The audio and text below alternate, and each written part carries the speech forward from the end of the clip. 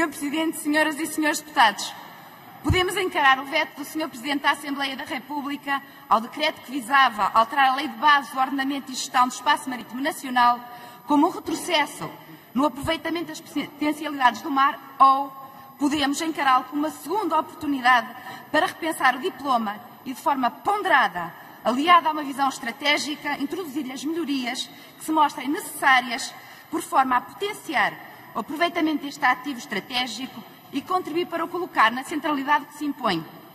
Para o PSD, o, voto do Sr. Presidente, o veto do Sr. Presidente da República constitui claramente uma oportunidade para que a Assembleia da República aprove alterações à Lei de Base do Ordenamento e Gestão do Espaço Marítimo Nacional que sirvam realmente os melhores interesses do continente e das regiões autónomas, dos Açores e da Madeira, numa palavra, que sirvam melhor o mar português e Portugal. Esta lei é crucial ao desenvolvimento do mar português e, consequentemente, é crucial ao desenvolvimento de Portugal. Uma lei que se pretende ampla e integrada. Uma lei inovadora, que defina o quadro da política de ordenamento do espaço marítimo nacional, a sua articulação e compatibilização com os instrumentos de planeamento, nomeadamente com planos de situação e de afetação.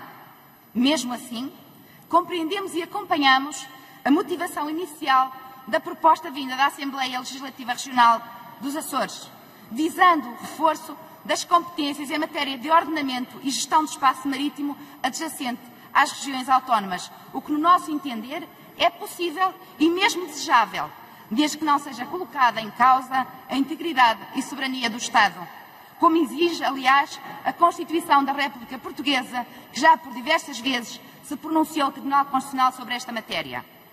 Porém, o que se passou no processo legislativo foi, no nosso entender, muito além deste reforço.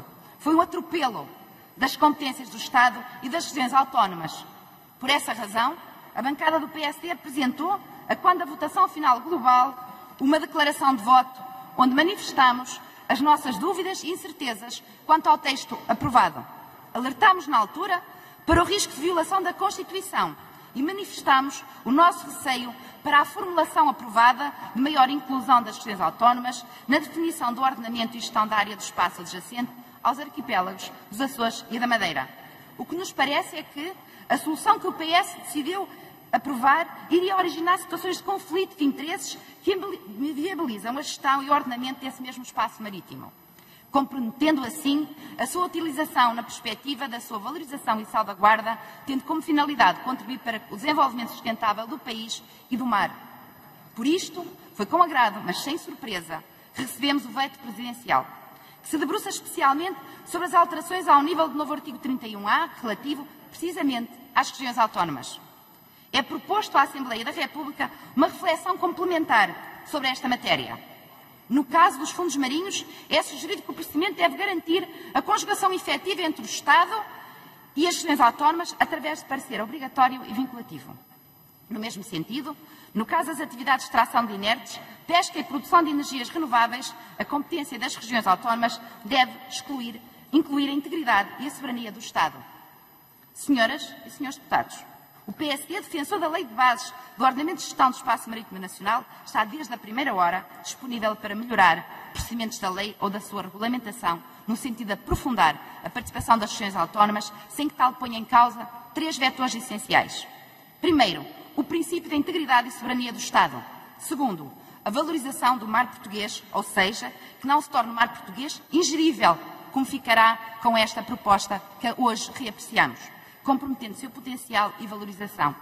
Terceiro, a posição negocial de Portugal como interlocutor único em processos negociais, seja a nível europeu na fixação de cotas de pesca, seja nas Nações Unidas no processo essencial para o nosso país, que é a extensão da plataforma continental.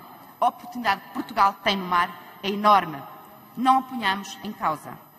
O desenvolvimento através do mar, por todos, é dito como fundamental e consensual. No entanto, Infelizmente, veio mais uma vez o PS, na última hora, no último minuto, apressadamente, apresentar outra proposta que tem como única preocupação obstar ao possível veto do Sr. Presidente da República e não como os Açores, a Madeira e Portugal mereciam, aproveitar esta segunda oportunidade para que desenvolver e remediar esta lei e torná-la realmente naquela lei que Portugal precisa, que o mar precisa e que nos colocaria como extrativo, uh, estratégico, como aliás o PSD tanto tentou e tanto pugnou. Pena não nos terem ouvido. Disse.